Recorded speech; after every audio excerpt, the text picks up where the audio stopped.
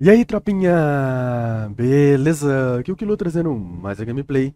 Dessa vez estou aqui no Slandank e hoje eu vou trazer o guia de runas de PF, beleza, tropa?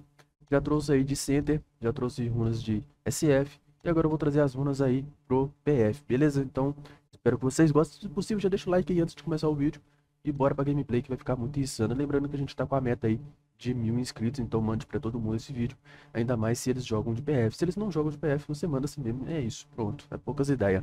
Aqui eu analisei o Thiago, né, top 1 Fukuda, top 1 Fukuda, já analisei as runas dele, e a gente vai trazer aí pra ver de qual é, beleza? Ó, primeiro, a gente vai começar upando a runa amarela, na real a gente vai upar todas para nível 3, beleza? Mas é, na amarela a gente vai ter pivô e rebote, basiquinho, basiquinho, é, é, PF, básico do básico. Na verde a gente vai ter rebote e salto. Nas azuis a gente vai ter salto e pivô, que a gente quer ter bastante salto para poder pegar os rebotes, rebote para pegar os rebotes rebote para pegar os rebotes, beleza?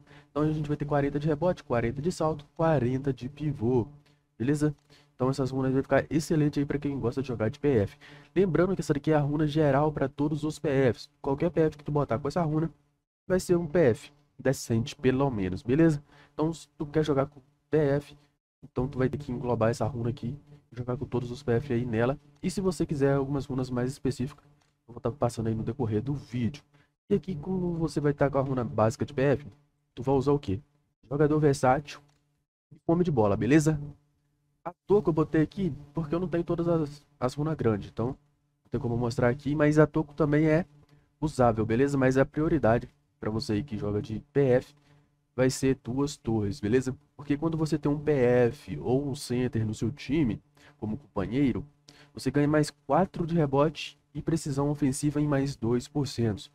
Então, isso aí vai te ajudar bastante, fora que os PF também pontuam, faz alguns arremessos e tal. Ainda mais quando eles ficam fora ali do garrafão tentando pontuar. Então essa runa aqui vai ser excelente aí para você jogar com PF. A runa core dele seria é, jogador versátil, fome de bola e duas torres, beleza? Mas você pode usar o toco quando você estiver enfrentando SG. Vamos supor que você não, tá é, você não tem outro PF no seu time. Vamos supor que você está de Sakurai Careca como center principal. Sakurai Careca como center principal, tu pode tirar duas torres e botar qualquer outra, beleza?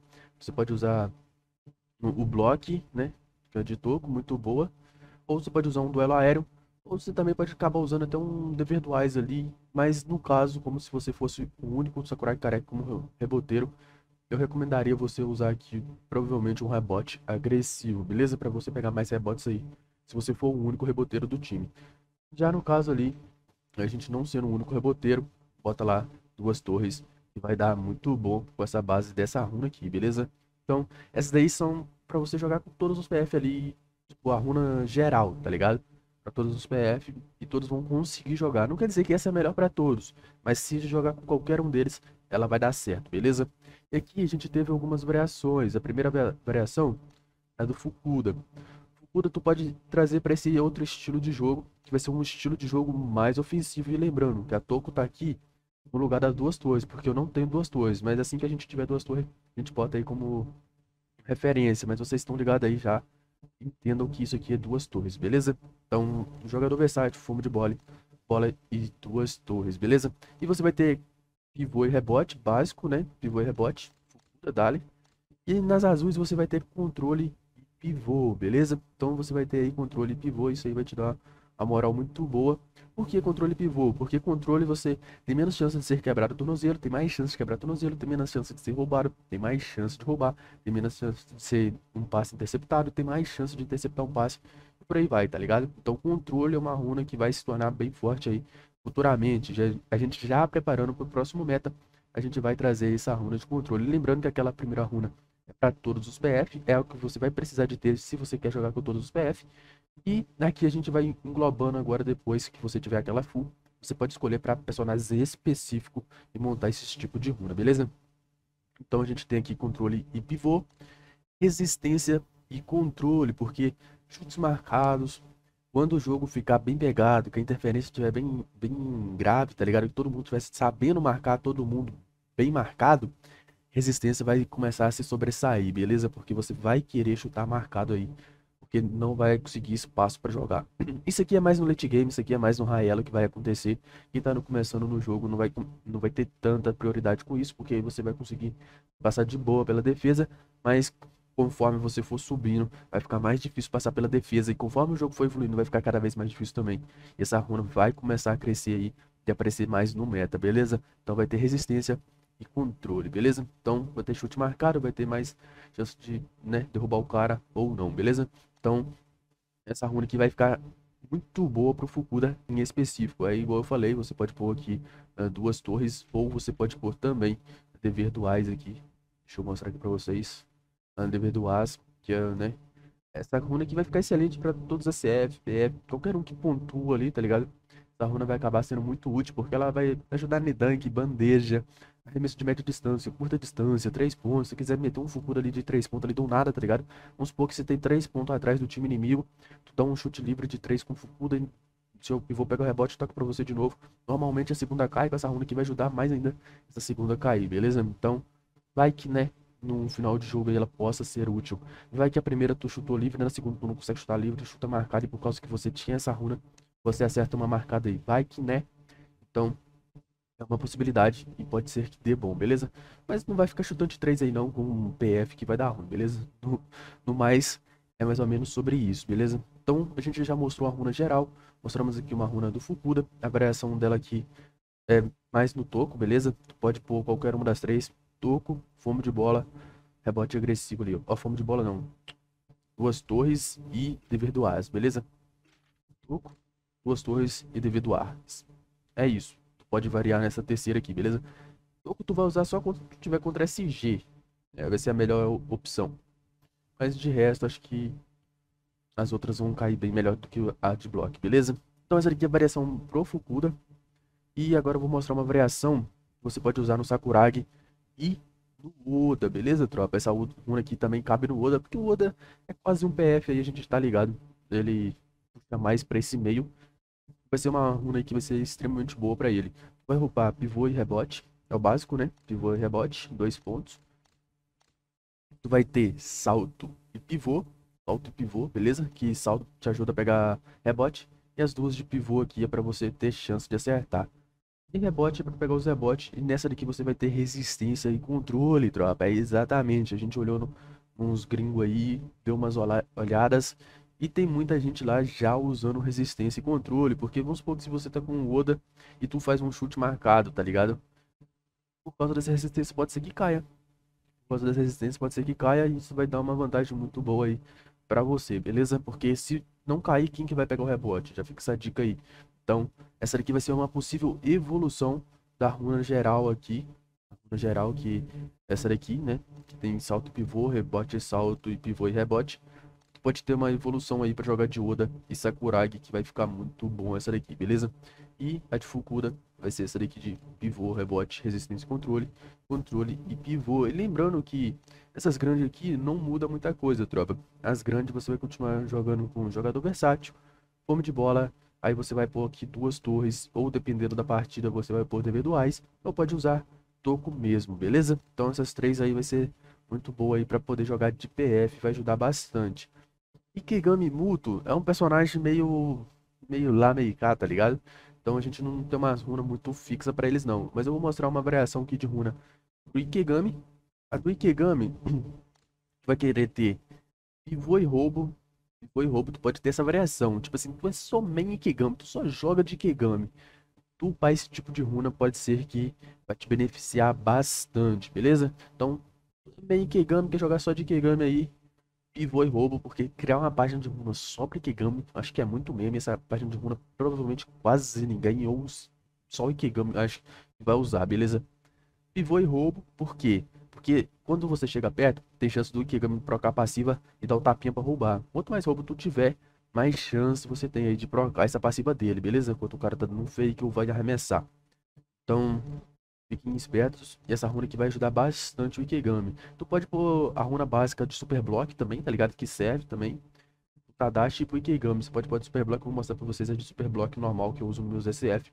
E o Tadashi e o Ikigami pode ser usado com ela também, beleza? Qualquer outro PF também acho que pode ser usado com Super Block, que Super Block é roubado, beleza? Mas aqui no caso do Ikigami, tu vai pôr pivô e roubo, vai colocar roubo e aceleração de energia, tropa. Isso mesmo, por quê? Porque você vai querer upar o, upar o máximo possível na partida. Então tu vai querer ter, dar, dar pelo menos umas 5, 6 ult aí por partida.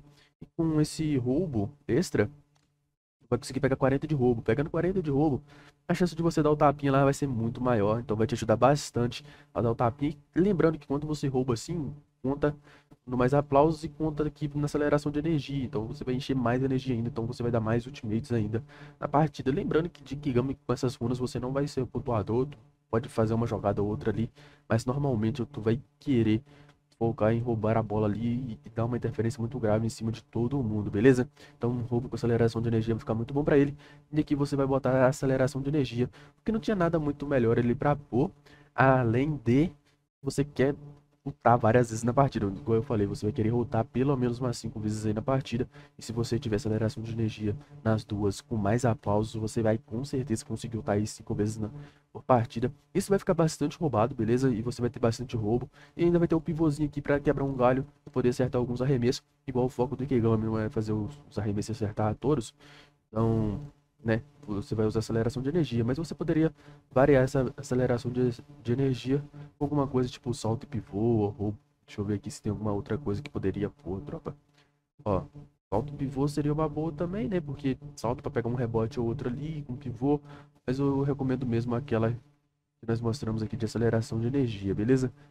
Se fosse pivô também, você não vai ficar confrontando os caras, então não vale muito a pena.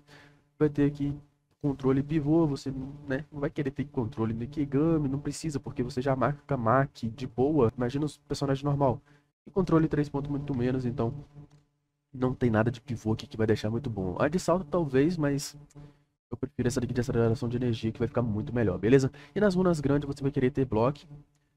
Bloco, eu achei meio meme da parte dos gringos quando eu vi esse bloco aqui, beleza? Mas até que vai fazer um pouco de sentido. Às vezes você não vai precisar só de roubar, às vezes tu pode chegar e dar um toco nos caras, beleza? Aí você vai ter aqui mais aplausos, que vai ser essencial, né, pra juntar com suas habilidades aqui, poder lutar muitas vezes na partida. E no lugar dessa defesa perfeita, você vai vir aqui, ó, deixa eu mostrar pra vocês uma habilidade que ficou extremamente boa aqui pra ele, que vai ser a defesa ligeira, beleza? Chance de roubada de bola, mais 1%, no nível máximo aqui ele aumenta pra 3%, se eu não me engano, 3% e alcance de toco mais 0.25. Isso aqui vai combar muito bem ali com o seu Ikigami. Lá no outros servidores, eles tinham uma runa verde um pouco melhor. Eles tinham uma outra runa verde, mais ou menos nesse estilo. Não deu pra gente pegar a tradução nem nada do tipo, mas ela poderia entrar facilmente no lugar da Block aqui. Quando ela lançar, eu mostro para vocês aí a nova runa que pode entrar no lugar de Block. Vocês montam essa runa em específico aí pro Ikigami, que vai ficar muito bom. Mas é só se você joga somente de Ikigami, se você joga com todos os personagens ali, ou pelo menos com todos os PF, você não vai querer ter esse tipo de build aí na sua conta, beleza? E o Tadashi, tropa, Tadashi tu vai usar a runa normal, a runa padrão, né, de salto e rebote, salto pivô, pivô e rebote, ou você vai querer lançar um super block, que é a geral que eu uso aqui, ó, salto e pivô, pivô e block, block e salto, beleza? Basiquinho aqui embaixo também, pode usar as mesmas que tá aqui, ó, é jogador versátil, toco e fome de bola, pode querer usar essas daí, ou tu pode usar as padrão aqui também, jogador versátil, fome de bola e duas torres, beleza? Então, essas daí foram as dicas, essas são as runas de PF. Tem para todos os personagens em específico, né? Eu mostrei ali para a maioria, né? Eu mostrei uma de Fukuda, uma para Sakuragi e Oda. Não mostrei para Sakuragi cabeludo, né? Sakuragi e Oda. Cabeludo você usa a básica ali mesmo, ou então uma runa de center para ele que já tá safe. E Kegami eu mostrei uma ali mais ou menos. Se você também Kegami só joga de Kegami, não quer jogar contra os bonecos, você gosta de Kegami aí. Mas eu não recomendo muito montar uma build assim, porque você não aproveita os outros personagens. E tem aquela do Tadashi que tu pode usar com Super Block ou de reboteiro mesmo. Talvez até se você joga de PG, que é o pau Tadashi, a runa que tu tiver de PG também já serve para ele aí, beleza? Então, se vocês gostaram do vídeo, já deixa aquele likezão insano, se inscreva no canal se não é inscrito. Tamo junto, lembrando que a gente tá na meta de mil inscritos. Então bora compartilhar esse vídeo para todo mundo aí, deixar bastante like aí para fortalecer, para que o vídeo possa pegar mais engajamento aí, beleza, tropa? Então, fui, espero que vocês tenham gostado e é nóis.